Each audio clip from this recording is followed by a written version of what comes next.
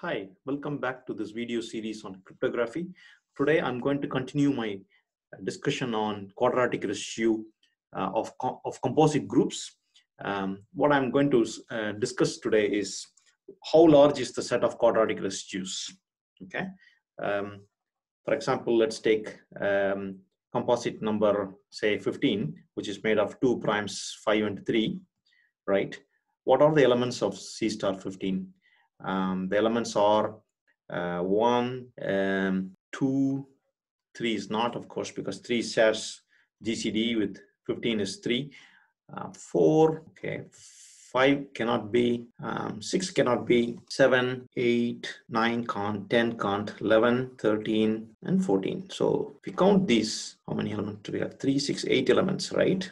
Can, there's also a nice formula we can use. Since 15 has factors 5 and 3 it, it must be same as um, let me write it here. In general how many elements are in this set z and star? Um, it must be p minus 1 times q minus 1 that's some well-known fact. So if you plug this p to be 3 q to be 5 um, you will get uh, 2 into 4 8 elements which is exactly what we have here. Okay so the question now is how about the quadratic residues? Um, how many elements are in in the set of quadratic residues? Okay so we can clearly tell all the perfect squares will be part of the quadratic residue because it's power of 2 so for example in this case 4 is clearly a quadratic residue because 4 is uh, 2 power 2 Okay, and one is also quadratic residue because one is one power one. But we also learned in the previous segment that quadratic residues there are um, there are multiple occurrences of quadratic residue, right? Uh, meaning um, multiple roots uh, for each uh, uh quadratic residue. So not only um, four can be represented as two power two, there must be other way to represent four in the set. Okay, for that purpose, it's better to use the computer. So I'm going to show to you uh, Z star 15 and measure how many elements are there and then move on to Z star 21. Okay. So let's get going. Um, I'm going to measure that, right? So I will use the little Python program um, and, and study that. So from, I, read, I wrote a little Python that will generate that matrix. Okay, so ratio of uh, 15, right? Um, as you can see, the second column shows 1 and 4 are quadratic residues because we can represent 4 as 2 power 2, 1 as uh, 1 power 1. But there are other ways to represent 4. Uh, 4 can also be represented using 7. 7 power 2 um, is 4, right? Okay. And 8 power 2 is also 4 in this set because, eight, for example, 8 power 2 is 64. 64 mod 15 is 4. So in 15 mod I'm talking about, right? This, this mod 15. Okay. Um, so another root is 13. 13 square is also 4. We talked about this earlier. All right, and then of course, um, the most trivial one is 2 square is equal to 4. All right, so the same holds for uh, the argument with respect to 1. We can see here 1, 2, 3, and of course 1 square is also 1. So there are um, four roots for each element in, in, in, in this composite group. Uh, when you have P and Q are distinct primes, odd primes. Um, there are theorems that you can uh, um, make use of that, that prove this fact that if, if, an element is a quadratic residue, there are four roots for that. Okay. But the question now is how many elements have quadratic residues or how many elements are part of the quadratic residues, right?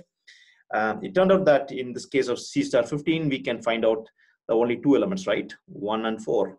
Okay. Two elements, right? So there's a notation for this. It's called quadratic residue is basically one comma four and um, the number of elements in quadratic residue is nothing but two, right? Okay, so that, that's first fact here in this case is two and Z star um, 15 is, um, I believe we said eight. So of course, uh, from one example, we cannot easily derive a math relationship, but it's well, it is kind of known that um, the number of elements in the in the quadratic residue is basically one fourth of the number of elements in uh, the set Z star n in general. So we can confirm this now very briefly with uh, another quadratic residue computation, but let's do it on a different group, right? Let's do it on composite group 21. The elements that are of interest for us are part of the um, column number two, right? And uh, we can go here. This column has one, four. So let me write it here for you. One, uh, four, uh, 16. These are the three elements that are part of the second column. So these are the only elements that have quadratic residue. We can easily confirm ourselves. 4 is 2 square, 16 is 4 square, but 4 has other roots in this group. For example, 5. 5 square is 25, mod 21 is 4. So 5. So let's take 1. 1 is simple, right? First, 1 square, 8 square, 13 square, and 20 square. So 1 has 4 roots. 4 has also 1, 2, 3, 4 roots. 16 also has 4 roots. 1, two, three, four roots. That that's confirmed. We checked it. But now, number of elements here is quadratic residue has uh, set one, three, one, four, 16. Therefore, the number of elements is nothing but three. Okay. But what about the size of the set uh, Z star 21? Okay. We can count the number of rows here, right? That will tell us how many elements are there, or we can use the other formula because we know the factors of 21 are 7 and um, 3.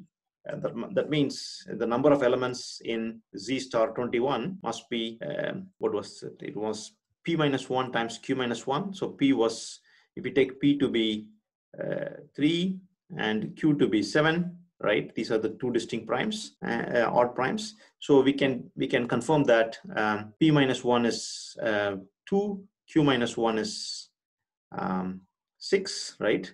So 2 into 6 is 12, which is exactly what we need um, to confirm the fact that uh, the quadratic residue has one-fourth of the elements of the group. So it may come across as if the number of elements in the quadratic set is too low because it's just one-fourth. But think of this way. What if the group um, is not just a tiny group like 21? What if the group is made of a a gigantic number, right? The size of the group is like 2 power 2048, okay? Um, or, or, n is 2 power 2040 to be more precise. What if what if n is like a, a composite number of of of, of uh, size very very large, like approximately like this? And this is an even number. It's not a composite necessarily. Um, I mean, it is a composite, but um, this is this is clearly even number. We want p times q to be odd number, right? Because p and q are primes. Okay, so, um, so I'll take an approximately 2 power 2040 just for discussion purpose. So what is one fourth of this? Um, let's let's uh, consider this. We do know z star n is um, p minus 1 q minus 1, right? If p and q are um, approximately the same size, uh, we will be getting the number of elements in this is actually approximately the same as the number of elements um, in yeah i'd say like this. It, it's it's a very um, um, um, approximation is not so precise but it's okay for our purpose in this case. Has n elements and we are dividing this by 4 why is this still a very very large number because the size of n you see here n itself is a very huge number right? The number of elements is 2 power 2048 approximately.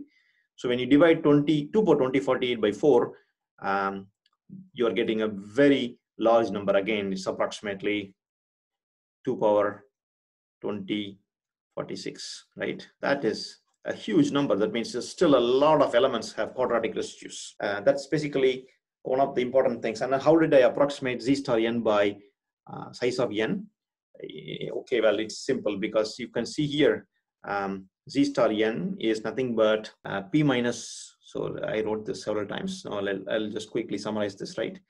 Is P minus 1 times Q minus 1, right?